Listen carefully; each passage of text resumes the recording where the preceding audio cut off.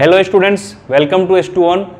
Myself Devrat Raj, pursuing MBBS from Institute of Medical Sciences, BHU Varanasi मैं पिछले पाँच साल से बायोलॉजी पढ़ा रहा हूँ और बायोलॉजी पढ़ाने का हमारा अप्रोच ये रहता है कि पहले हम चीज़ों को समझेंगे उसके बाद उसको लंबे समय तक याद रखते हैं। ठीक है? तो समझने से वो चीज़ें लंबे समय तक याद रहेगी और उसके लिए हम लोग क्या करते हैं कि उसको थोड़ा सा ट्रिक वगैरह बनाते हैं और उस ट्रिक से उसको अच्छे से याद रखते हैं ताकि चीज़ें अच्छे से रिकॉल हो पाए एग्ज़ाम के टाइम पे। क्योंकि बहुत सारी चीज़ें याद रखने के लिए हो जाती है तो सारा मिक्सअप ना हो जाए। इसके लिए अलग अलग रखने के लिए उसको क्या करते हैं हम लोग? ट्रिक से याद करते हैं। ठीक है? तो हमारा अप्रोच क्या रहेगा कि पहले हम समझेंगे, उसके बाद लंबे समय तक कैसे याद रखा जाए, उसको समझेंगे। ठीक है? तो आइए देखते हैं आज के लेक्चर में कैसे चीज़ों को आसान बनाया जाए। तो आज हम लोग एक नया यूनिट शुरू करने जा रहे हैं इकोलॉजी इकोलॉजी में हम लोग चार चैप्टर पढ़ेंगे। जो पहला यूनिट पहला चैप्टर है आपका वो क्या है? ऑर्गेनिज्म एंड पॉपुलेशन ठीक है? इसके बाद हम लोग पढ़ेंगे इकोसिस्टम और उसके बाद जो हमारा अगला चैप्टर होगा, वो होगा इन्वायरमेंटल इशूज ठीक है? और एक है चैप्टर आपका बायोडाइवर्सिटी एंड कंजर्वेशन तो ये चारों चैप्टर जो है इस यूनिट में है इकोलॉजी यूनिट में. ठीक है? और एग्जामिनेशन पॉइंट ऑफ़ व्यू से देखें तो एग्जामिनेशन पॉइंट ऑफ़ व्यू से बहुत इंपॉर्टेंट टॉपिक है. पहले तो इससे 15 15 20 20 क्वेश्चन आता था, इस चारों चैप्टर को मिला के, यानी कि अकेला इकोलॉजी से 15 से 20 क्वेश्चन आता था, ठीक है? और अभी भी 10 से तो ऊपर क्वेश्चन आएगा आपको, इस पूरे यूनिट से 10 से 15 क्वेश्चन फिक्स है कि आएगा ही आएगा, इससे ज़्यादा आ सकता है 10 से कम क्वेश्चन नहीं आएगा, इसकी गारंटी है। तो ये इंपॉर्टेंट यूनिट है एग्जामिनेशन पॉइंट ऑफ़ व्यू से। तो इसको आप अच्छे से पढ़िएगा। एन का एक एक लाइन एक एक एग्ज़ाम्पल आपको याद करना पड़ेगा। जैसा कि आपको हर एक चैप्टर में करना पड़ता है, इस चैप्टर में भी करना पड़ेगा। तो चलिए शुरू करते हैं। सबसे पहले बताते हैं इकोलॉजी क्या है। क्योंकि इकोलॉजी के अंदर ये सारे चैप्टर हैं तो सबसे पहले बात करते हैं इकोलॉजी क्या है। ठीक है? तो इकोलॉजी में आप ऐसे समझिए इसको कि ऑर्गेनिज्म है और इन्वायरमेंट है। दो चीज़ है। क्या क्या है? ऑर्गेनिज्म और इन्वायरमेंट तो एक इन्वायरमेंट में डिफरेंट टाइप ऑफ़ ऑर्गेनिजम्स होंगे। मतलब गाय है, भैंस है, बैल है, ठीक है? और आदमी भी है। तो ये सब अलग अलग तरह के ऑर्गेनिज्म है। ठीक है? और एक ही इन्वायरमेंट में रह रहे हैं। ठीक? तो ऑर्गेनिज्म का आपस में इंट्रैक्शन और ऑर्गेनिज्म का इन्वायरमेंट से इंट्रैक्शन दो चीज़ होता है। जैसे, आपका गाय से क्या इंट्रैक्शन होगा? आप गाय को खाना खिलाएँगे, गाय आपको दूध देगी। ये क्या है? इंट्रैक्शन तो ऑर्गेनिज्म का आपस में इंट्रैक्शन ठीक? और दूसरी बात क्या है? ऑर्गेनिज्म का इन्वायरमेंट से इंट्रैक्शन इन्वायरमेंट से इंट्रैक्शन कैसे हो गया? जैसे तेज गर्मी हो रही है, या ठंडी हो रही है, या बरसात हो रही है तो जो इन्वायरमेंट का जो ऑर्गेनिज्म से इंट्रैक्शन होता है, ये अलग बात हो गई। तो इन दोनों को मिला के हम क्या बोलते हैं? इकोलॉजी बोलते हैं। The study of interaction within organism and interaction of organism with environment interaction of organism with environment और interaction of organisms with other organisms ये दोनों को मिला के क्या बोलते हैं हम? इकोलॉजी बोलते हैं। तो आपको इकोलॉजी का डेफिनेशन का मतलब ढंग से समझ में आ गया होगा कि ऑर्गेनिज्म का आपस में क्या इंटरेक्शन होता है और ऑर्गेनिज्म का इन्वायरमेंट से क्या इंटरेक्शन होता है, इन सब के स्टडी करने को हम क्या बोलते हैं? इकोलॉजी बोलते हैं। ठीक है? तो अब अगर हमको ये पता चल जाएगा कि ऑर्गेनिज्म का आपस में इंटरेक्शन और ऑर्गेनिज्म का इन्वायरमेंट से इंटरेक्शन हमको पढ़ना है तो सबसे पहले हमको क्या पढ़ना पड़ेगा कि ऑर्गेनिज्म क्या होता है। सबसे पहले क्या पढ़ना पड़ेगा? व्हाट इज़ ऑर्गेनिज्म ठीक? तो ऑर्गेनिज्म आपको हम पढ़ा चुके हैं द लिविंग वर्ल्ड पढ़ाए थे, वहाँ पे आपको बताए थे कि ऑर्गेनिज्म क्या होता है। ठीक है? लिविंग ऑर्गेनिज्म क्या होता है? तो लिविंग ऑर्गेनिज्म यहाँ ऑर्गेनिज्म से मतलब क्या है? लिविंग ऑर्गेनिज्म की बात हो रही है। ऐसा नहीं कि नॉन लिविंग ऑर्गेनिज्म की बात हो रही है। ठीक है? तो लिविंग ऑर्गेनिज्म का कैरेक्टरिस्टिक फीचर होता है। उस कैरेक्टरिस्टिक फीचर को सेटिस्फाई कर रहा है तो वो क्या है? लिविंग है। आपको हम बताए थे लिविंग ऑर्गेनिज्म का फीचर क्या है? Growth reproduction metabolism consciousness cellular organisation ये सब क्या है? लिविंग ऑर्गेनिज्म का फीचर है। तो जो लिविंग ऑर्गेनिज्म है, ये आप पढ़ चुके हैं कि किसको लिविंग बोलेंगे, किसको नॉन लिविंग बोलेंगे। तो उस ऑर्गेनिज्म से ही क्या बनता है हमारा? पॉपुलेशन जैसे क्या है कि अगर हम यहाँ पे बहुत सारा गाय है, ठीक है तो बोल देंगे गाय का पॉपुलेशन है। बहुत सारा आदमी है तो क्या बोल देंगे? आदमी का पॉपुलेशन है, ठीक है? तो इसको पॉपुलेशन को डिफाइन कैसे करेंगे? तो इसमें क्या करते हैं कि पर्टिकुलर जियोग्राफिकल एरिया को कंसीडर करते हैं। जैसे बनारस का पॉपुलेशन तो बनारस का पॉपुलेशन जब भी आप बोलते हैं तो आप बनारस के जियोग्राफिकल एरिया के बारे में बात करते हैं कि बनारस का जितना एरिया है, उस एरिया में जितने आदमी हैं या उस एरिया में जितने जीव जंतु हैं, उन सबको मिला के बनारस का पॉपुलेशन बोलते हैं। तो ये मतलब ऐसा नहीं होता है कि बनारस का पॉपुलेशन बोल रहे हैं तो उसमें लखनऊ का आदमी भी आ गया। बनारस का पॉपुलेशन का मतलब क्या हो गया कि जो पर्टिकुलर जियोग्राफिकल एरिया है, उसकी बात कर रहे हैं। ठीक है? तो पॉपुलेशन को कैसे डिफाइन करेंगे? तो पॉपुलेशन को डिफाइन कर सकते हैं हम ग्रुप ऑफ़ इंडिविजुअल क्या बोल सकते हैं? Group of individual in a particular geographical area in a particular geographical area उसमें लिखा हुआ है शेयरिंग और compete with similar resources sharing और कंपीट विद सिमिलर रिसोर्सेस इसका मतलब क्या है? इसको समझिए। शेयरिंग का मतलब क्या है? या तो या तो सिमिलर रिसोर्स शेयर कर रहे हैं, या फिर उसी रिसोर्स के लिए कंपीट कर रहे हैं। जैसे जैसे ये है कि आपको खाना खाना है चावल दाल, हमको भी खाना खाना है चावल दाल। तो जितना चावल दाल अवेलेबल है, उसमें से हम दोनों शेयर कर सकते हैं, या हम दोनों कंपीट करेंगे तो जिसको ज़्यादा मिलेगा, वो ज़्यादा खाएगा, जिसको कम मिलेगा, वो कम खाएगा। तो या तो रिसोर्सेज को शेयर करेंगे, या उस रिसोर्स के लिए एक दूसरे में कंपीट करेंगे, कि जिसको मिल गया, वो उसका हो गया, जिसको नहीं मिला, उसका नहीं हुआ। ठीक है? तो group of individual living in a particular geographical area sharing और competing for similar resources is called as population ऐसे हम पॉपुलेशन को डिफाइन कर सकते हैं। तो अगर सिमिलर रिसोर्स है तो सिमिलर इंडिविजुअल होगा। तभी तो सिमिलर रिसोर्स होगा। ठीक? तो ये पॉपुलेशन का डिफिनेशन तो ऑर्गेनिज्म क्या है और पॉपुलेशन क्या है? इसको अगर आप समझ जाते हैं तो उसके बाद हम ये चैप्टर स्टार्ट कर सकते हैं। देखिए ऑर्गेनिज्म एंड इट इन्वायरमेंट तो आपको अभी हम क्या बताएँ? इकोलॉजी इकोलॉजी का डेफिनेशन आप लोग लिख सकते हैं और interaction of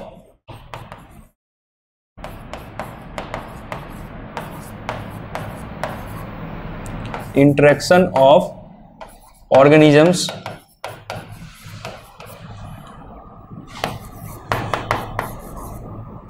with other organisms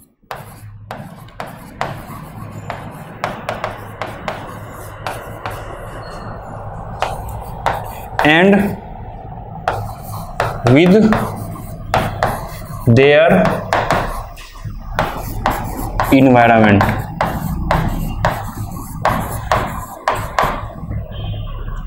is called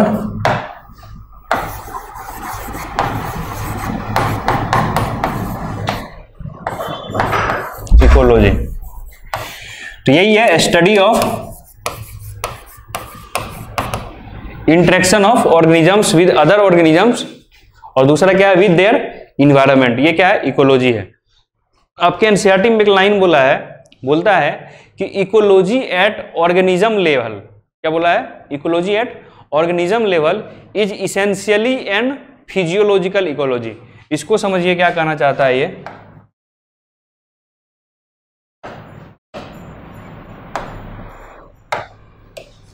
ध्यान से देखिए क्या बोल रहा है ecology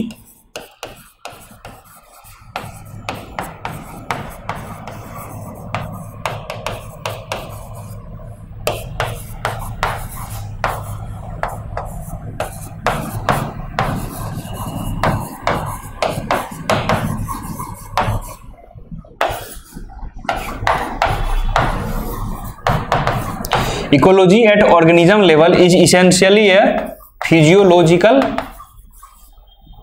ecology अब इसका मतलब क्या है? इसका मतलब यह है कि अगर ऑर्गेनिज्म के लेवल पे बात करते हैं, एक तो होता है पॉपुलेशन के लेवल पे बात कर रहे हैं, या होता है कि कम्युनिटी के लेवल पे बात कर रहे हैं, या बायोम के लेवल पे बात कर रहे हैं, या सिर्फ़ ऑर्गेनिज्म के लेवल पे बात कर रहे हैं।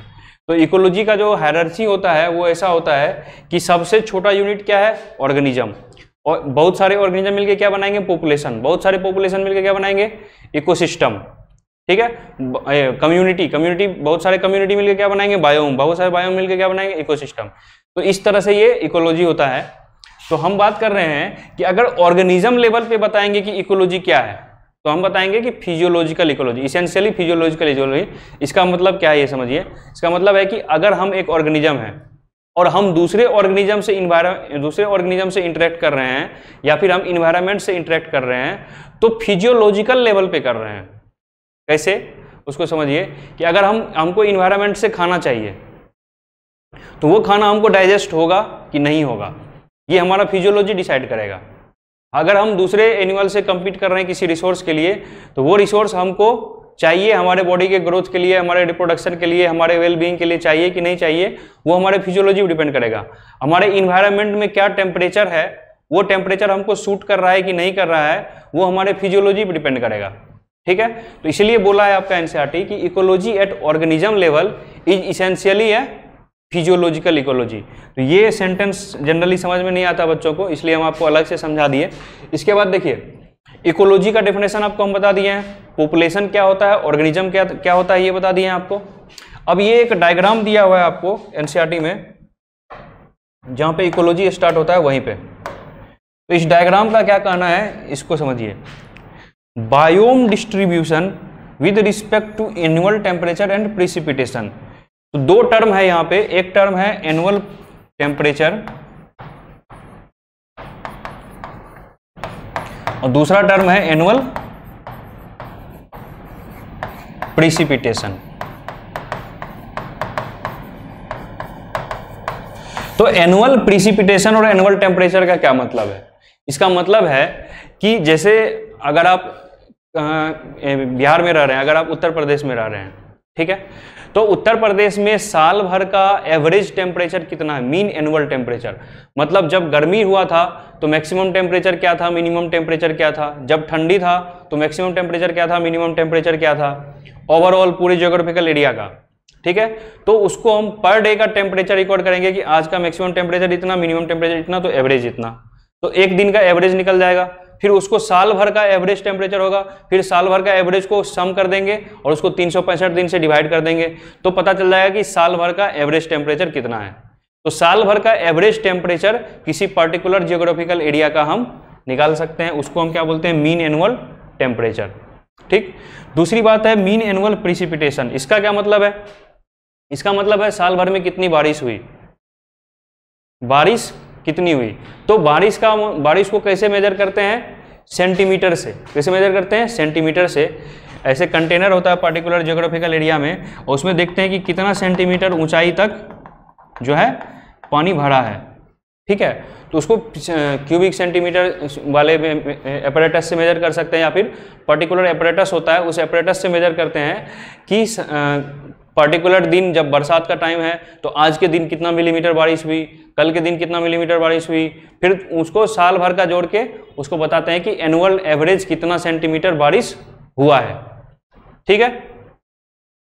तो मीन एनुअल टेम्परेचर और मीन एनुअल प्रिसिपिटेशन हम क्यों पढ़ रहे हैं इस ग्राफ में? वो इसलिए पढ़ रहे हैं क्योंकि टेम्परेचर और रेनफॉल ही डिसाइड करता है कि उस पर्टिकुलर एरिया में कौन सा पौधा उगेगा। और उस पर्टिकुलर एरिया में कौन सा पौधा उगेगा, ये डिसाइड करता है कि उस पर्टिकुलर एरिया में कौन सा जानवर रहेगा। इसको समझिए आप। जैसे, अगर डेजर्ट एरिया है, ठीक है? तो डेजर्ट एरिया में घास तो उगेगा नहीं तो घास खाने वाली बकरी तो वहाँ मिलेगी नहीं। समझ पा रहे हैं आप क्या बोल रहे हैं हम? तो कहने का मतलब है कि अगर एरिया ऐसा है ज्योग्राफिकल एरिया ज्योग्राफिकल एरिया में देखेंगे हम टेम्परेचर कितना हुआ है साल भर में, और उसमें बारिश कितनी हुई है साल भर में? तो साल भर में बारिश ज़्यादा होगी और टेम्परेचर अगर नॉर्मल रहेगा टॉलरेबल रहेगा तो क्या होगा कि वहाँ पे पेड़ पौधे ज़्यादा उगेंगे पेड़ पौधे ज़्यादा उगेंगे तो खाने का सामान ज़्यादा है, क्योंकि जितना भी एनिमल है वो किस पे डिपेंडेंट है? प्लांट पे डिपेंडेंट है खाने के लिए। प्लांट क्या है? ऑटोट्रॉफ और एनिमल क्या है? हेट्रोट्रॉफ तो एनिमल को खाना चाहिए किससे? प्लांट से। ठीक? तो उसको क्या चाहिए? खाना चाहिए। तो वो क्या करेगा उससे? खाना लेगा। तो खाना कब लेगा? जब प्लांट होगा तो प्लांट कब होगा? जब बारिश होगी। ठीक? तो मीन एनुअल टेम्परेचर और मीन एनुअल प्रिसिपिटेशन ये डिसाइड करता है कि उस पर्टिकुलर एरिया में क्या फ्लोरा और फोना होगा। मतलब प्लांट और एनिमल कौन से होंगे। ठीक है? तो देखिए, वही चीज़ आपको यहाँ पे दिखाया है कि ये mean annual precipitation 50 centimetre 50 centimetre साल भर में बारिश हुई है। ये कहाँ होता? है डेजर्ट में। डेजर्ट में बारिश बहुत कम होती है। ठीक? लेकिन टेम्परेचर देखिए इसका। एवरेज टेम्परेचर ये सात आठ से लेके कहाँ तक है? बीस बाईस तक है। ठीक? तो एवरेज टेम्परेचर इसका ज़्यादा, आप जानते हैं डेजर्ट में गर्मी होती है, रेगिस्तान में गर्मी होती है तो एवरेज टेम्परेचर ज़्यादा है, लेकिन प्रिसिपिटेशन कम है। तो प्रिसिपिटेशन कम है, बारिश कम है तो पेड़ पौधे भी कम उगते हैं। इसीलिए तो क्या होता है, वह मरुस्थल होता है, रेगिस्तान होता है। उसी तरह से और आगे जाइए। एवरेज मीन एनुअल प्रिसिपिटेशन ज़्यादा है 100 है। ठीक है? तो इसमें कौन कौन सा आ गया? ग्रासलैंड, कोनीफेरस फॉरेस्ट, आर्कटिक और अल्पाइन टुंड्रा। आर्कटिक और अल्पाइन टुंड्रा में आप देखेंगे कि आर्कटिक जो है, वो एरिया वहाँ क्या होता है? बर्फ़ जमा होता है। तो इसलिए टेम्परेचर एवरेज आप देख सकते हैं, माइनस में टेम्परेचर है। टेम्परेचर क्या है? माइनस फाइव, माइनस टेन, ये एवरेज टेम्परेचर माइनस में है। ठीक? लेकिन ग्रासलैंड, बारिश भी हुई है, टेम्परेचर भी नॉर्मल रेंज में है तो ये ग्रासलैंड में क्या होगा? घास उगेगा। और ज़्यादा बारिश होती है 150 सेंटीमीटर 200 सेंटीमीटर तो और ज़्यादा टेम्परेट फॉरेस्ट और ट्रॉपिकल फॉरेस्ट। पहले सिर्फ़ घास था, अब जंगल आ गया। क्यों? क्योंकि ज़्यादा पेड़ पौधे हो गए। ज़्यादा पेड़ पौधे कब उगेंगे? जब ज़्यादा बारिश होगी। तो 150 200 250 ये सब क्या है? बारिश ज़्यादा हो रही है, इसलिए पेड़ पौधे भी ज़्यादा उग रहे हैं। ठीक है? तो इसमें आपको ध्यान ये रखना है कि डेजर्ट के बारे में आपसे पूछा जाएगा तो आपसे पूछा जाएगा, mean annual precipitation is low. And mean annual temperature is relatively high तो ये क्या हो जाएगा? किसके लिए हो जाएगा? डेजर्ट के लिए हो जाएगा। ठीक? तो अब इसके लिए, ये देखिए आर्कटिक और अल्पाइन टुंड्रा के लिए क्या बोलेगा? Mean annual temperature is low and mean annual precipitation is also low इस तरह से क्वेश्चन आपसे पूछा जा सकता है। तो ठीक है, उम्मीद करते हैं ये ग्राफ आपको समझ में आया होगा कुछ। नेक्स्ट चलते हैं हम लोग। Major abiotic factor abiotic factor में क्या क्या आता है? एक होता है बायोटिक फैक्टर एक होता है एबायोटिक फैक्टर तो बायोटिक फैक्टर तो क्या है हमारा? एनिमल है प्लांट है, ठीक? जो कि जीवित है, जो लिविंग है, वो क्या होगा? बायोटिक फैक्टर जो नॉन लिविंग है, वो क्या हो जाएगा? एबायोटिक फैक्टर तो इसमें चार एबायोटिक फैक्टर है, और ये मेजर एबायोटिक फैक्टर ये किसको इफ़ेक्ट करेगा? बायोटिक फैक्टर हो या एबायोटिक फैक्टर हो किसको इफ़ेक्ट करने की बात हो रही है यहाँ? ऑर्गेनिज्म को इफ़ेक्ट करने की बात हो रही है पॉपुलेशन को इफ़ेक्ट करने की बात हो रही है। तो मतलब कोई टेम्परेचर से ऑर्गेनिज्म पे क्या प्रभाव पड़ेगा, ये आपको समझाने की कोशिश की जा रही है। तो टेम्परेचर जो होता है, जैसे आप ह्यूमन बींग का ये एग्ज़ाम्पल लेंगे तो इसका इंटरनल टेम्परेचर कितना मेंटेन होना चाहिए? 37 डिग्री सेल्सियस ये हमेशा मेंटेन रहता है इंटरनल टेम्परेचर बाहर भले ही गर्मी हो, बरसात हो, धूप हो ठंडी हो, उससे कोई मतलब नहीं लेकिन अंदर का टेम्परेचर हमेशा बॉडी का अंदर का टेम्परेचर क्या होना चाहिए? 37 डिग्री सेल्सियस होना चाहिए। ठीक है? अब अगर टेम्परेचर 37 डिग्री सेल्सियस नहीं होगा तो क्या हो जाएगा? अनकंफर्ट जोन हो जाएगा डिस्कंफर्ट जोन हो जाएगा। ठीक है? तो ह्यूमन क्या करता है कि अगर बाहर गर्मी आ गया, ठीक? या फिर बाहर ठंडी आ गया तो क्या इसका अंदर का टेम्परेचर चेंज होता है क्या? नहीं चेंज होता है। ठीक है? लेकिन अगर कोई दूसरा दूसरा कोई ऑर्गेनिज्म है, जैसे प्लांट ठीक? या फिर अदर एनिमल्स या लोअर एनिमल्स बोल सकते हैं आप। तो ये लोग क्या करते हैं कि जैसा इन्वायरमेंट का टेम्परेचर है, वैसा ही इसके बॉडी का टेम्परेचर भी होता है, ठीक है? तो दो तरह की बात होती है। एक होता है कन्फर्मर एक होता है रेगुलेटर क्या होता है? कन्फर्मर और रेगुलेटर इंटरनल इन्वायरमेंट को मेंटेन करेगा जो वो क्या होगा? रेगुलेटर जो इंटरनल इन्वायरमेंट को मेंटेन नहीं कर पाएगा, वो क्या होगा? कन्फर्मर ये आपको आगे पढ़ाएँगे। टेम्परेचर के रेंज के बेसिस पे दो तरह के ऑर्गेनिज्म होते हैं। एक होता है यूरी थर्मल यूरी थर्मल और एक होता है एस्टीनोथर्मल यूरी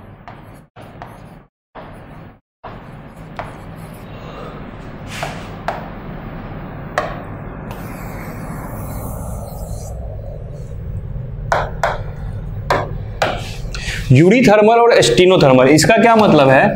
यूरी थर्मल जो ऑर्गेनिज्म होते हैं wide range of temperature can tolerate तो दो तरह के ऑर्गेनिज्म होते हैं, या तो यूरी थर्मल ऑर्गेनिज्म या फिर एस्टिनोथर्मल ऑर्गेनिज्म ऐसे ऑर्गेनिज्म जो, जैसे हम हैं तो हम अभी अगर ठंडी आएगी तो पाँच डिग्री सेल्सियस होगा टेम्परेचर तब भी हम ज़िंदा रहेंगे। और अगर गर्मी है, पचास डिग्री सेल्सियस है, तब भी हम ज़िंदा है। तो मतलब पाँच से पचास डिग्री सेल्सियस बहुत बड़ा रेंज हो जाता है। ठीक? तो इसको हम बोलते हैं कि ऐसे ऑर्गेनिज्म जो कि वाइड रेंज ऑफ़ टेम्परेचर में सर्वाइव कर पाते हैं वाइड रेंज ऑफ़ टेम्परेचर को टॉलरेट कर पाते हैं, उसको हम बोलते हैं यूरी थर्मल ऑर्गेनिज्म और जो नैरो रेंज ऑफ़ टेम्परेचर को सर्वाइव कर पाते हैं can tolerate can tolerate narrow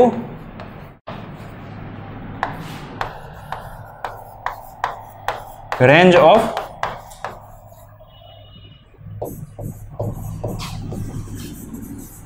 temperature ठीक है? तो ऐसे ऑर्गेनिज्म को क्या बोलेंगे हम? एस्टिनोथर्मल तो दो तरह के ऑर्गेनिज्म होते हैं टेम्परेचर टॉलरेशन के बेसिस पे, या तो यूरीथर्मल या फिर एस्टिनोथर्मल तो वाइड रेंज ऑफ़ टेम्परेचर को जो टॉलरेट करेगा यूरीथर्मल और जो नैरो रेंज ऑफ़ टेम्परेचर को टॉलरेट करेगा वो एस्टिनोथर्मल ठीक है?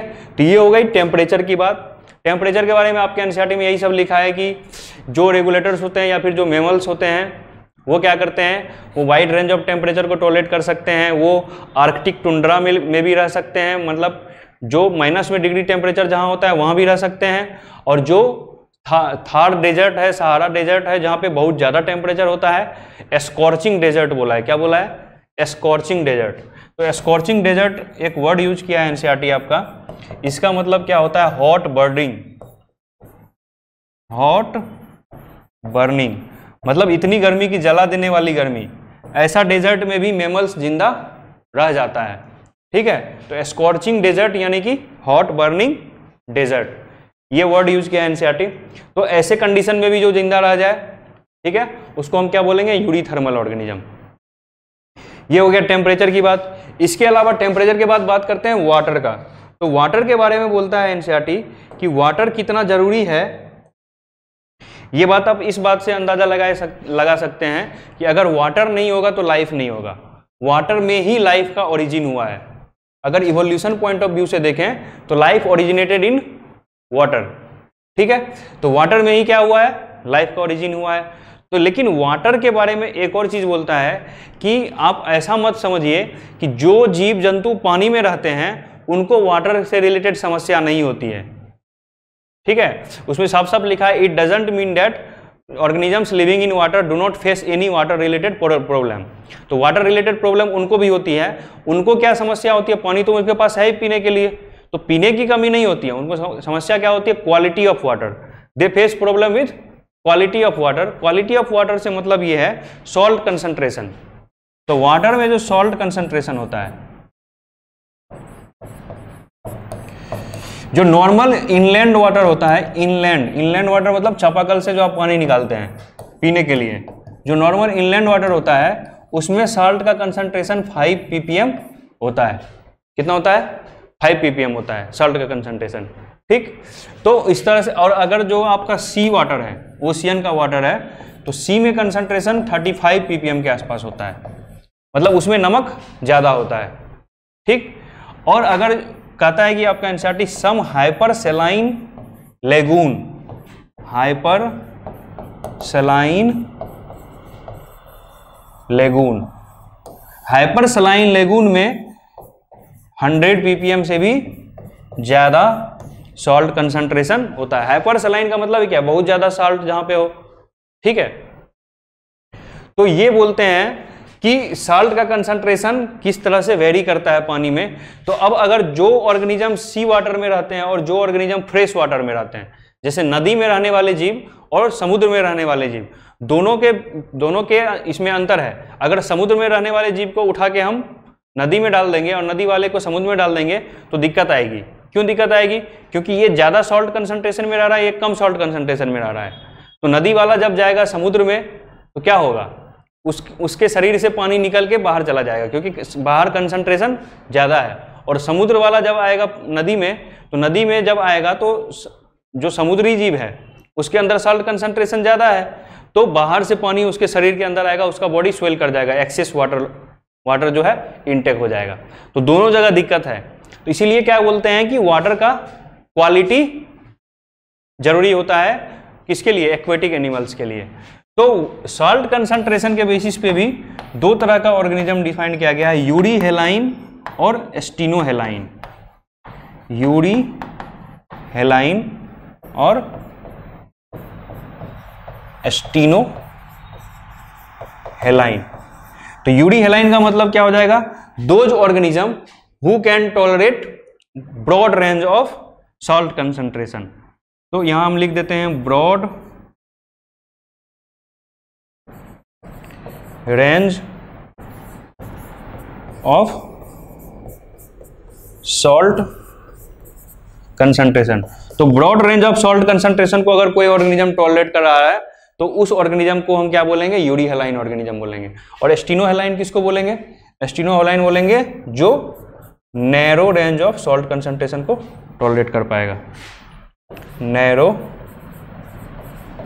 range of salt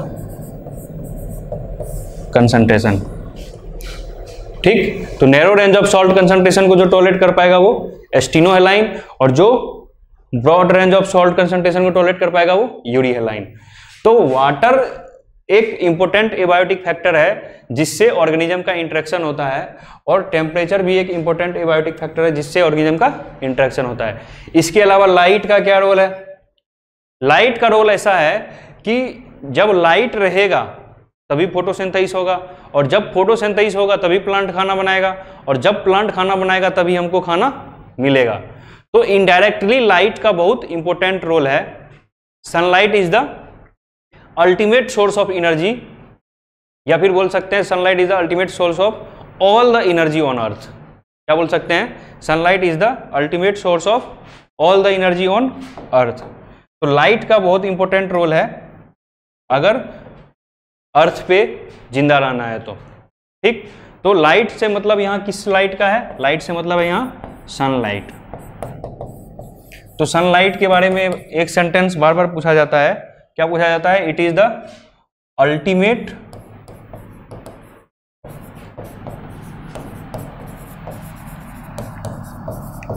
source of all the energy on earth तो सनलाइट क्या है? Ultimate source of all the energy on earth तो सनलाइट से कैसे अफेक्टेड है ऑर्गेनिज्म क्योंकि जितने भी ऑर्गेनिज्म है, या तो ऑटोट्रॉफ है या फिर हेट्रोट्रॉफ है। तो ऑटोट्रॉफ को खुद का खाना बनाना है, उसके लिए लाइट चाहिए। तो ऑटोट्रॉफ भी बिना लाइट के ज़िंदा नहीं रह पाएगा। और जब तक ऑटोट्रॉफ खाना नहीं बनाएगा, तब तक हेट्रोट्रॉफ को खाना नहीं मिलेगा। तो हेट्रोट्रॉफ भी ज़िंदा नहीं रह पाएगा। तो हम लिख सकते हैं कि autotroph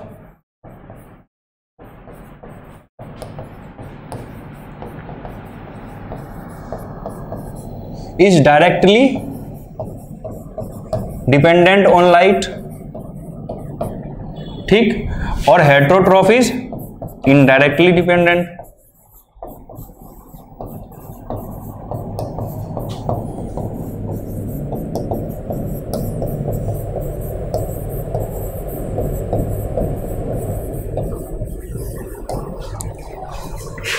ठीक तो ये आपके लाई, लाइट का रोल है एबायोटिक फैक्टर में। इसके अलावा आता है लास्ट एबायोटिक फैक्टर वो क्या है? सॉइल तो सॉइल का क्या रोल हो सकता है? सॉइल में क्या क्या क्वालिटी कंप्रोमाइज हो सकता है? सॉइल का क्या क्या क्वालिटी आपके लिए ज़रूरी है?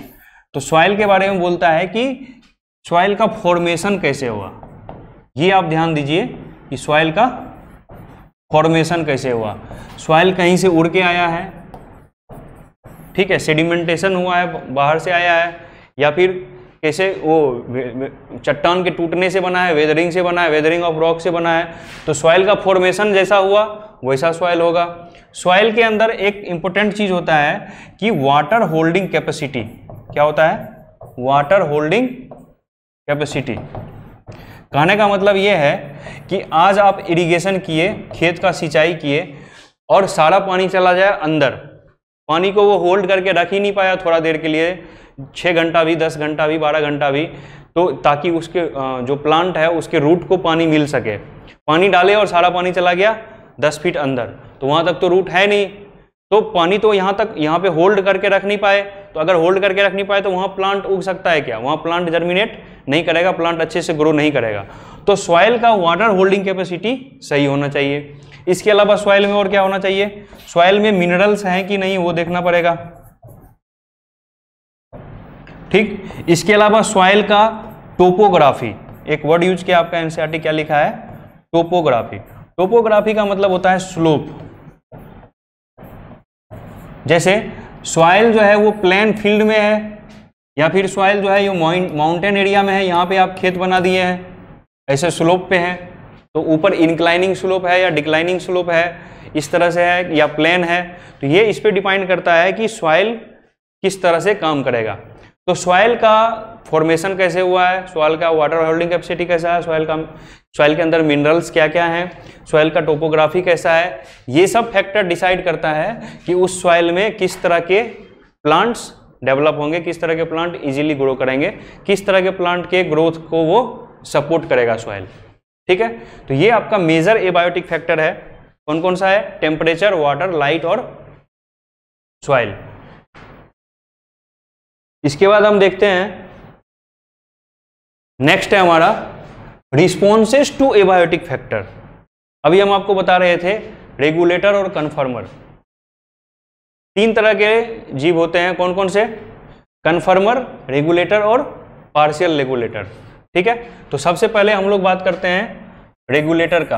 और रेगुलेटर कौन है हम लोग? एग्ज़ाम्पल हमारा क्या है? रेगुलेटर का मेमल्स एग्ज़ाम्पल ले सकते हैं हम। मेमल्स रेगुलेटर होता क्या है? रेगुलेटर ऐसा होता है कि एक्सटर्नल इन्वायरमेंट में जो भी चेंज आ रहा है, उससे बेफिक्र होके हमको अपना इंटरनल इन्वायरमेंट मेंटेन करना है, अपना होम्योस्टेसिस मेंटेन करना है। तो ऐसे हम लिख सकते हैं रेगुलेटर का मतलब organism who maintain their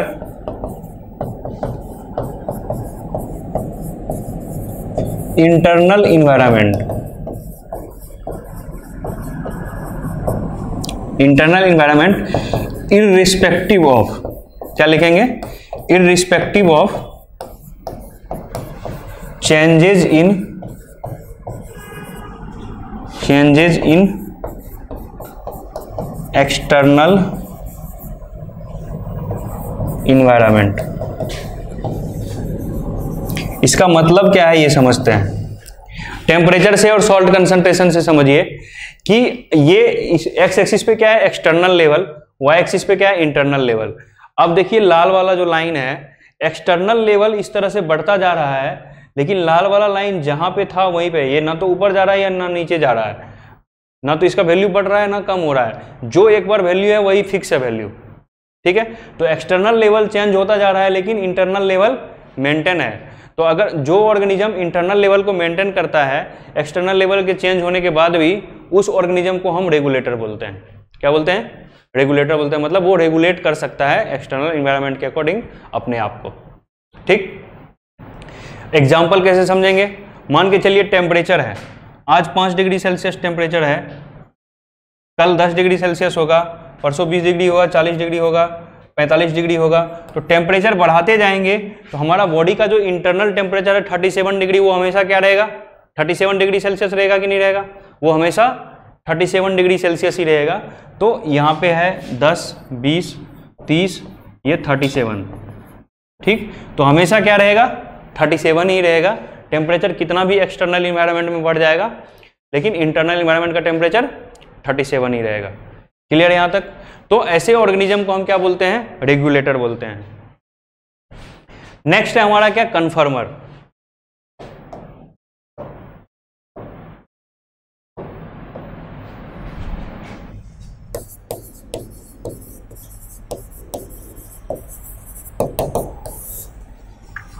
conformer ऐसे ऑर्गेनिज्म बोलते हैं organisms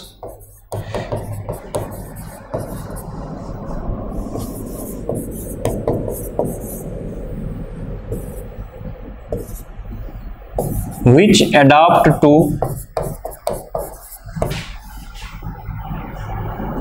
which adapt to external changes by changing their internal environment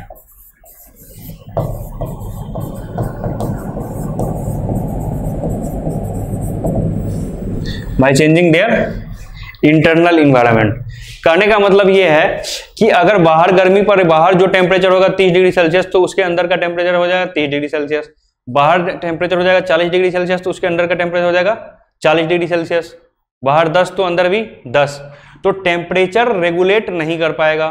salt concentration regulate नहीं कर पाएगा। वाटर का जो लेवल है, वो रेगुलेट नहीं कर पाएगा।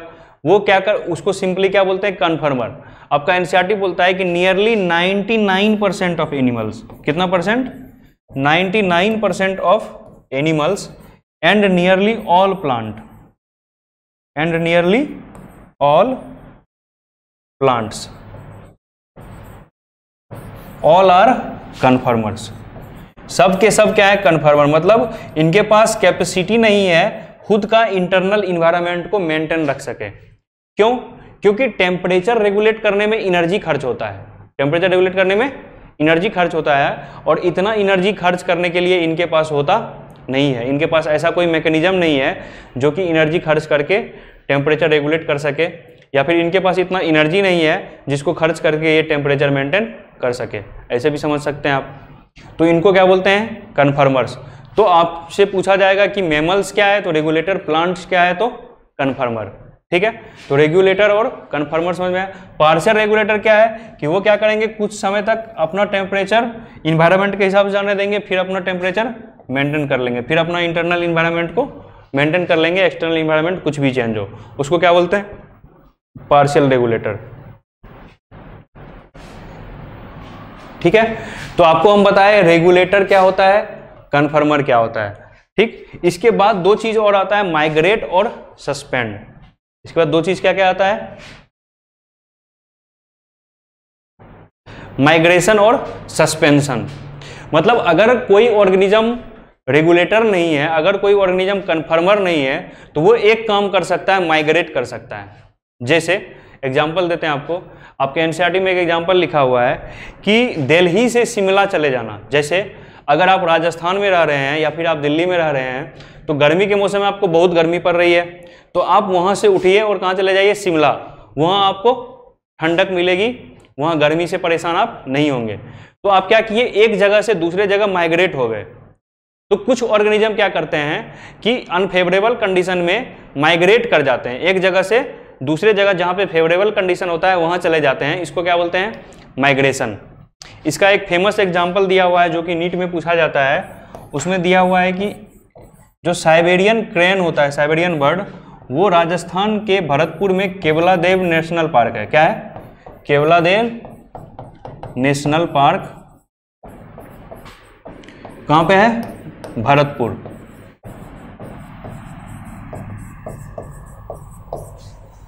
ठीक? तो बोलता है कि साइबेरियन क्रेन हर साल क्या होता है कि ठंडियों में कहा जाता है? Keoladeo national park. वहाँ पे क्या होता है? उसको फेवरेबल टेम्परेचर मिलता है और उधर साइबेरिया में क्या होता है? उसको टेम्परेचर अनफेवरेबल हो जाता है। तो हर साल वो क्या, कहा जाता है? Keoladeo national park. यहाँ पे रहता है कुछ समय के लिए, फिर जब वहाँ साइबेरिया में टेम्परेचर फेवरेबल हो जाता है तो फिर यहाँ से उड़ के वहाँ चला जाता है। तो ये माइग्रेशन का एक एग्ज़ाम्पल आपके एनसीआरटी में दिया हुआ है। दूसरा एग्ज़ाम्पल तो आपको बता ही दिए क्या है? दिल्ली टू शिमला शिफ्ट हो जा रहे हैं आप गर्मी में। तो ये क्या है? माइग्रेशन का एग्ज़ाम्पल ठीक? माइग्रेशन कर सकते हैं, एक तरीका है। तीसरा तरीका हो गया, चौथा तरीका है आपका सस्पेंशन सस्पेंशन का मतलब है कि जब आपको गर्मी लगेगी तो आपको थकान महसूस होगा, पसीना छूटेगा, कमज़ोरी आएगा, बहुत तरह का बात होगा अगर आप काम कीजिएगा। जब आपको गर्मी आता है तो आप काम ही मत कीजिए, ऐसे सो जाइए, लेट जाइए। अपने आप को क्या कर दीजिए? सस्पेंडेड डेवलपमेंट में डाल दीजिए। ये है सस्पेंशन सस्पेंशन में एक एग्जांपल है डायापाउस। एक एग्जांपल है आपका। एस्टिवेशन। एक एग्जांपल है आपका हाइबरनेशन।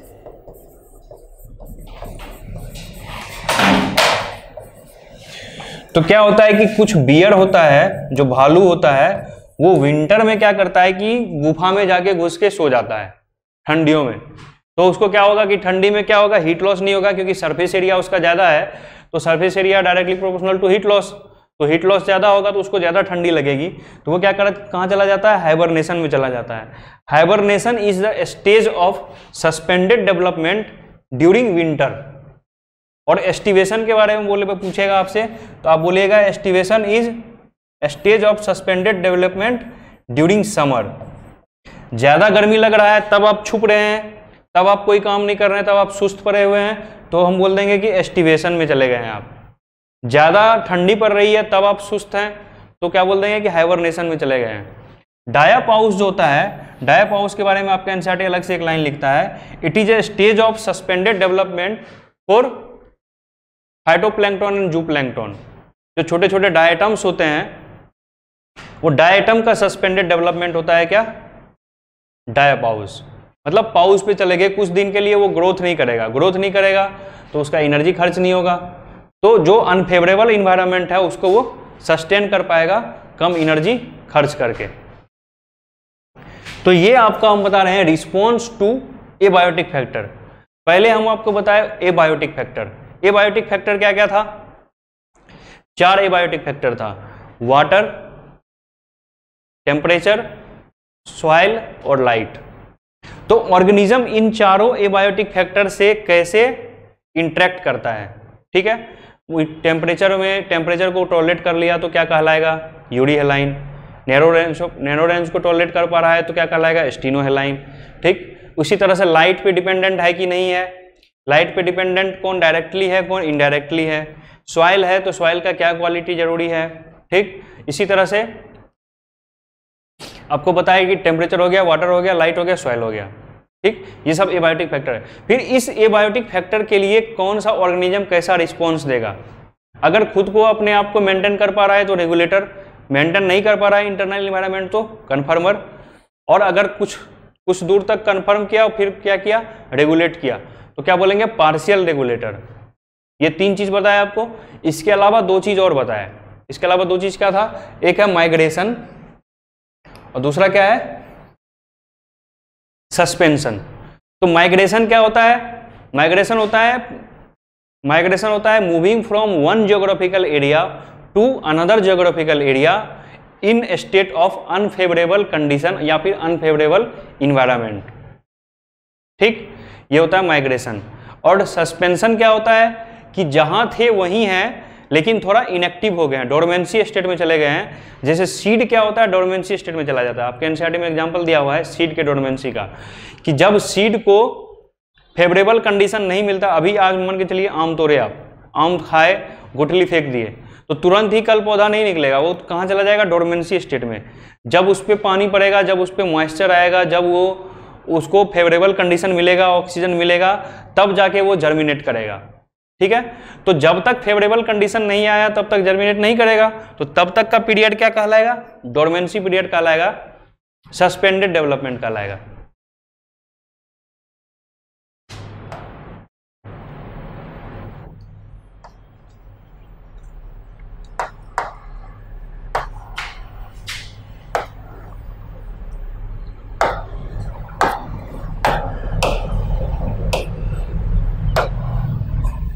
तो देखिए, अभी तक क्या क्या बताया हम आपको? मेजर एबायोटिक फैक्टर इससे पहले बायोम का क्या एनुअल प्रेसिपिटेशन और एनुअल टेम्परेचर बताया। उससे पहले बताया था कि इकोलॉजी क्या होता है ऑर्गेनिज्म क्या होता है पॉपुलेशन क्या होता है, ठीक? फिर ऑर्गेनिज्म का एबायोटिक फैक्टर से क्या लेना देना है? एबायोटिक फैक्टर से कैसा रिस्पॉन्स करता है, ठीक? अब उसके बाद है एडाप्टेशन एडाप्टेशन के बारे में आपका एनसीआरटी बोलता है कि मेमल्स के इतना एडाप्टेशन आज तक कोई नहीं कर पाया है। इसीलिए मेमल्स को सबसे एडवांस कहा जाता है, क्योंकि मेमल्स सबसे ज़्यादा इन्वायरमेंट से अपने आप को अडॉप्ट कर पाता है। ठीक? क्योंकि बोलता है कि स्कॉर्चिंग डेजर्ट से लेके जो है ये आर्कटिक डेजर्ट जो आइस कूल डेजर्ट होता है poles north pole south pole जहाँ पे बहुत ज़्यादा माइनस में टेम्परेचर होता है, वहाँ भी मेमल्स पाया जाता है। बहुत गर्म इलाके में भी मेमल्स पाया जाता है। इसके अलावा बोलता है कि हॉट वाटर स्प्रिंग जहाँ पे 100 डिग्री सेल्सियस से ज़्यादा टेम्परेचर होता है, वहाँ पे भी कुछ ऑर्गेनिजम्स पाए जाते हैं बैक्टीरिया वगैरह सब पाए जाते हैं। वो मेमल्स की बात नहीं हो रही है। तो एडाप्टेशन में आपके एनसीआरटी में दो इंपॉर्टेंट एग्ज़ाम्पल दिया है। एक कंगारू रेट का एग्ज़ाम्पल दिया है और एक डेजर्ट प्लांट का एग्ज़ाम्पल दिया है। तो कंगारू रेट कैसे अपने आप को एडाप्ट कर पाता है डेजर्ट में? और डेजर्ट प्लांट कैसे अपने आप को एडाप्ट कर पाता है, ये आपको समझना है। ठीक है? तो कंगारू रेट है कंगारू रेट क्या करता है कि उसको जब पानी की ज़रूरत पड़ती है तो पानी तो उसके पास ज़्यादा है नहीं, एक बार तो पी लिया, उसको बचा के रखना है। तो वाटर कंजर्वेशन के लिए इसके पास टेक्निक होता है कि इसके बॉडी के अंदर जो भी वाटर का रिक्वायरमेंट है, बॉडी के अंदर जो भी वाटर का रिक्वायरमेंट है, वो कहाँ से पूरा करेगा? इंटरनल फैट ऑक्सीडेशन से। तो इसके बारे में लिखते हैं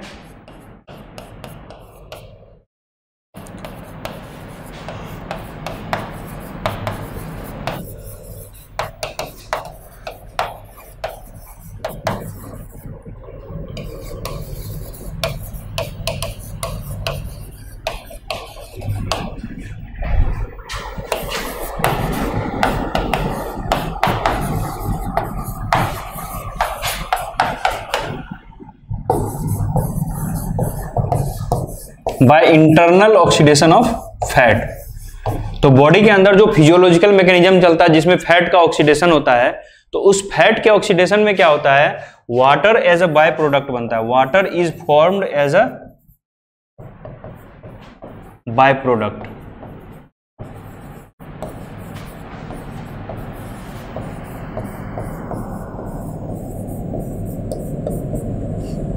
तो water is formed as a by product जो वाटर इस फैट के ऑक्सीडेशन के बाय प्रोडक्ट में बनता है, उसी वाटर का यूज़ बॉडी का जितना भी वाटर रिक्वायरमेंट है, उसमें ये पूरा कर लेता है।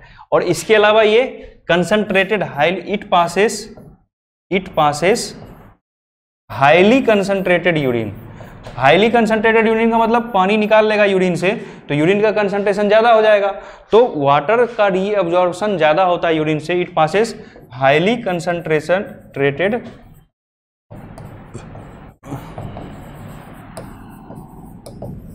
urine,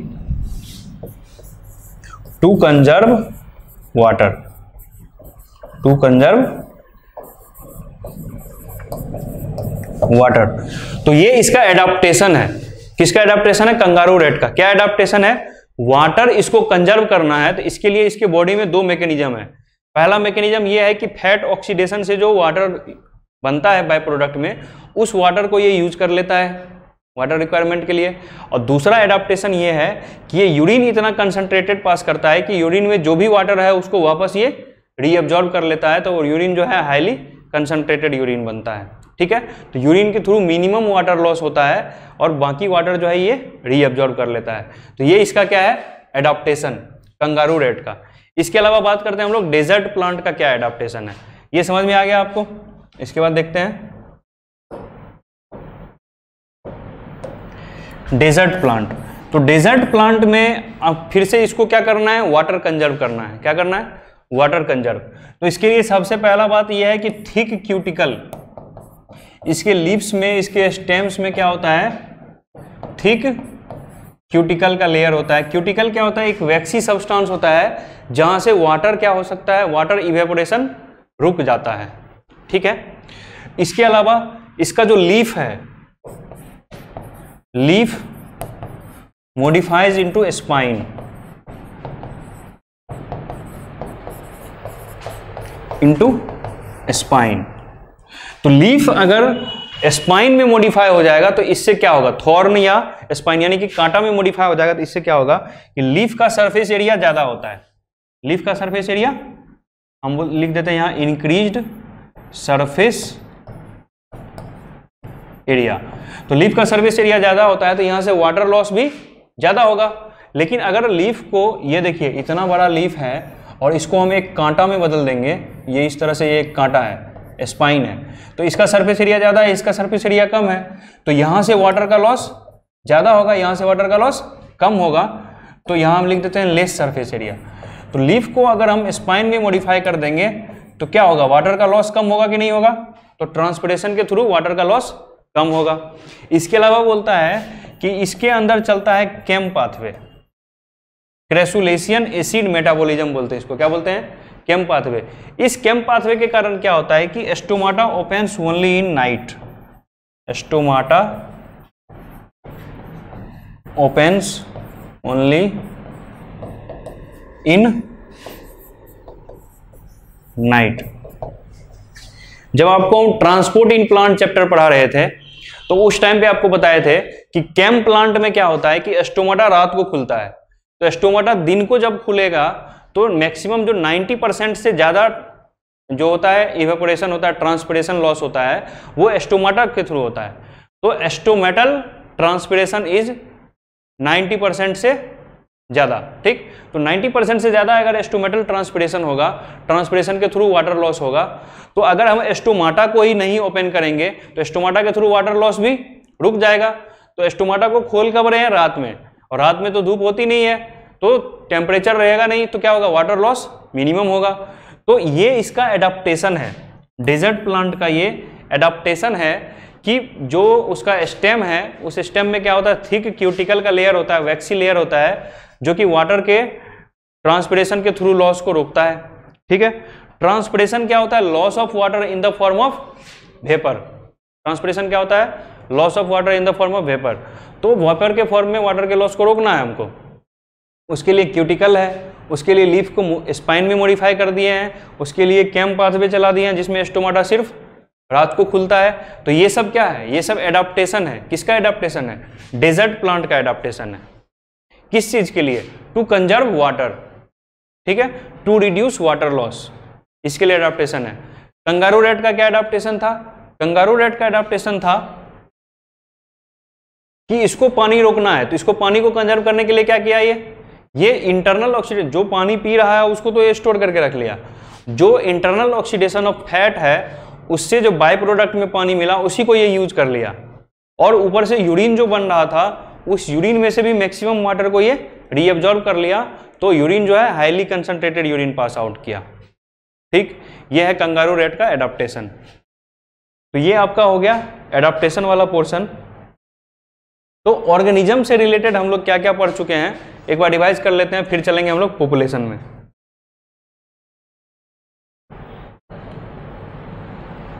देखिए, सबसे पहले हम लोग बात किए थे ये बायोम का। कि एनुअल टेम्परेचर और एनुअल प्रिसिपिटेशन डिसाइड करेगा कि वहाँ पेड़ पौधे कौन से होंगे। और पेड़ पौधा वहाँ कौन सा है, वो डिसाइड करेगा कि वहाँ जीव जंतु कौन से होंगे। ठीक है? और वो वहाँ का जीव जंतु और पेड़ पौधा मिलकर ही क्या बनाएगा? वहाँ का इकोसिस्टम बनाएगा। ये चीज़ आपको हम बात किए थे। उसके बाद हम आपको बताएँ कि कुछ एबायोटिक फैक्टर होते हैं। कौन कौन से? Temperature water light soil temperature में आपको बताया यूडी थर्मल क्या होता है और एस्टिनो थर्मल क्या होता है? फिर आपको वाटर में बताया कि यूरी हेलाइन क्या होता है और एस्टिनो हेलाइन क्या होता है। फिर आपको लाइट में बताया कि लाइट ज़रूरी है फोटोसिंथेसिस के लिए। फोटोसिंथेसिस ज़रूरी है ऑटोट्रॉप के लिए। ऑटोट्रॉप ज़रूरी है हेट्रोट्रॉप के लिए। फिर आपको सॉइल के बारे में बताया कि सॉइल का क्या क्या पॉइंट ज़रूरी है। इसके बाद हम लोग रिस्पॉन्स टू एबायोटिक फैक्टर पढ़े थे रिस्पॉन्स टू एबायोटिक फैक्टर में क्या क्या है? कन्फर्मर रेगुलेटर पार्शियल रेगुलेटर और इसके अलावा दो चीज़ क्या था?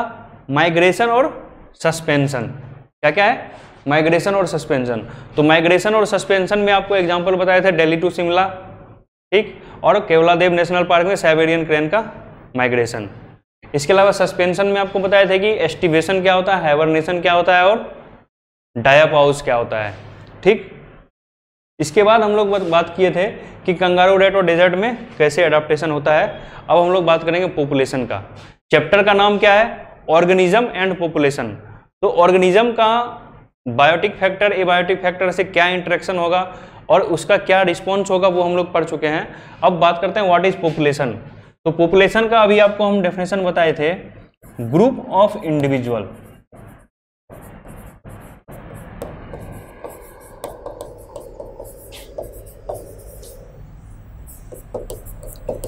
living in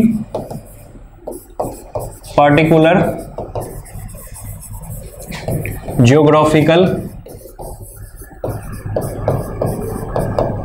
particular geographical area at particular time at particular time period sharing sharing और कंपीटिंग शेयरिंग और competing similar resources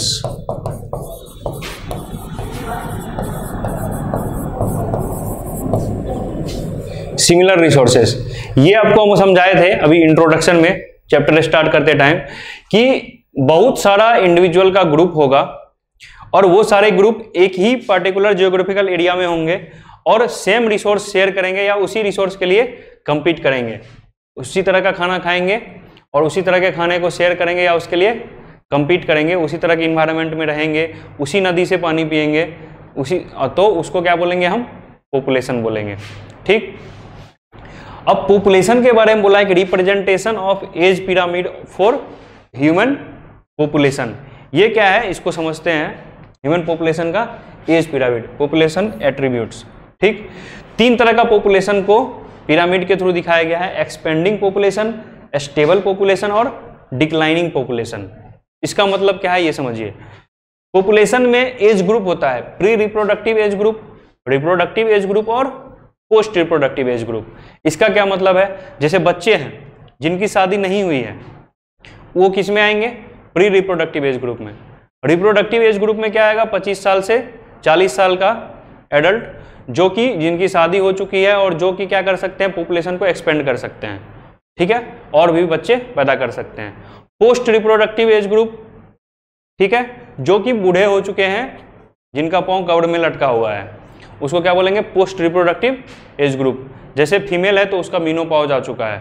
ठीक? तो 50 साल से ऊपर का एज ग्रुप क्या हो जाएगा? पोस्ट रिप्रोडक्टिव एज ग्रुप तो एक्सपेंडिंग पॉपुलेशन कब बोलेंगे? स्टेबल कब बोलेंगे? डिक्लाइनिंग कब बोलेंगे? एक्सपेंडिंग तब बोलेंगे कि अगर आपके आपके पास, अगर कोई पॉपुलेशन है, उसमें 100 लोग हैं। 100 में से 40 बच्चा है 20 जो है 25 से 40 साल के बीच है, और 40 ये 30 25 से 40 ऐसे लिख सकते हैं हम, डाटा लिख सकते हैं कि 40 जो है, क्या है? चाइल्ड है। ठीक? या चिल्ड्रन लिख देते हैं। इसके अलावा 30 जो है, वो क्या है? एडल्ट है। ठीक? और 30 जो है, वो क्या है? ओल्ड है। बूढ़े हैं। ठीक है? तो ये 40 बच्चे जो है, कल को जाके एडल्ट बनेंगे कि नहीं बनेंगे? फिर उनसे बच्चे होंगे कि नहीं होंगे? ठीक है? तो जिस पॉपुलेशन में प्री रिप्रोडक्टिव वाला एज ग्रुप ज़्यादा होता है, उस पॉपुलेशन को हम एक्सपेंडिंग पॉपुलेशन बोलते हैं। ये देखिए प्री रिप्रोडक्टिव वाला ज़्यादा है कि नहीं है? उससे कम है रिप्रोडक्टिव और उससे कम है, बूढ़े लोग सबसे कम है। तो उस पॉपुलेशन को हम एक्सपेंडिंग पॉपुलेशन बोलते हैं। फ्यूचर में ये पॉपुलेशन बढ़ने वाला है। क्यों? क्योंकि प्री रिप्रोडक्टिव ज़्यादा है। तो इससे बच्चे भी ज़्यादा पैदा होंगे तो पॉपुलेशन में इंडिविजुअल का नंबर बढ़ जाएगा। स्टेबल पॉपुलेशन किसको कहते हैं? स्टेबल पॉपुलेशन में क्या होता है कि जो प्री रिप्रोडक्टिव होता है और जो रिप्रोडक्टिव होता है, वो लगभग बराबर होता है। लगभग क्या होता है? बराबर होता है। तो उसको हम बोलते हैं स्टेबल पॉपुलेशन। मतलब जितने रिप्रोडक्टिव वाले पोस्ट रिप्रोडक्टिव में जाएँगे, उतने ही प्री रिप्रोडक्टिव वाले फिर से रिप्रोडक्टिव में आ जाएँगे। तो आगे चल के भी वो पॉपुलेशन उतना ही रहेगा जितना अभी है। लगभग बराबर रहेगा। तो उसको हम क्या बोलते हैं? स्टेबल पॉपुलेशन डिक्लाइनिंग पॉपुलेशन कब बोलेंगे? जब प्री रिप्रोडक्टिव रिप्रोडक्टिव से कम हो। ये देखिए रिप्रोडक्टिव ज़्यादा है और प्री रिप्रोडक्टिव कम है। मतलब आज अगर आज अगर 40 एडल्ट हैं लेकिन बच्चे कितने हैं? 30 तो जब फ्यूचर में क्या होगा कि ये 40 तो क्या हो जाएँगे? ओल्ड हो जाएँगे। तो ये जो 30 है यही 30 एडल्ट बनेंगे। तो रिप्रोडक्टिव में 30 ही एडल्ट होगा। ठीक? और इस 30 के बच्चे भी 30 ही होंगे कम होंगे। तो क्या हो जाएगा कि फ्यूचर में इस पो, इसका पॉपुलेशन का साइज़ कम होगा। इस पॉपुलेशन में जो नंबर है वो क्या होगा? कम होगा। तो इसलिए इस पॉपुलेशन को क्या बोलते हैं हम? डिक्लाइनिंग पॉपुलेशन बोलते हैं। तो तीन तरह का पॉपुलेशन एट्रीब्यूट है क्या क्या है? सबसे पहला क्या है? एक्सपेंडिंग एक्सपेंडिंग कब बोलेंगे? जब प्री रिप्रोडक्टिव ज़्यादा हो। स्टेबल कब बोलेंगे? जब प्री रिप्रोडक्टिव और रिप्रोडक्टिव जो है, दोनों लगभग बराबर हो। और डिक्लाइनिंग कब बोलेंगे? जब प्री रिप्रोडक्टिव कम हो और रिप्रोडक्टिव ज़्यादा हो। इसको क्या बोलेंगे? डिक्लाइनिंग पॉपुलेशन तो ये आपका पॉपुलेशन एट्रीब्यूट्स है। इसके अलावा हम लोग नेटलिटी मोर्टेलिटी इमिग्रेशन इमिग्रेशन वगैरह सब का बात नेक्स्ट लेक्चर में करेंगे। और नेक्स्ट लेक्चर में पॉपुलेशन से रिलेटेड और भी चीज़ें हैं। ये पॉपुलेशन डेंसिटी के क्या होता है? पॉपुलेशन डेंसिटी का क्या फॉर्मूला है? इसको डिस्कस करेंगे। फिर ग्रोथ मॉडल के बारे में बात करेंगे। और ग्रोथ मॉडल के बाद हम लोग पॉपुलेशन इंट्रैक्शन का बात करेंगे। बहुत तरह का पॉपुलेशन इंट्रैक्शन होता है। इन सब का एग्ज़ाम्पल डील करेंगे। फिर ये चैप्टर खत्म हो जाएगा। ठीक है? तो आज के लिए इतना ही ऑर्गेनिज्म और पॉपुलेशन में ऑर्गेनिज्म वाला पार्ट हमारा कंप्लीट हो गया। पॉपुलेशन वाला पार्ट कंप्लीट हो जाएगा। Thank you on is to on study is always on concepts के बेहतर रियलाइजेशन के लिए इस टू ऑन पर बने रहिए।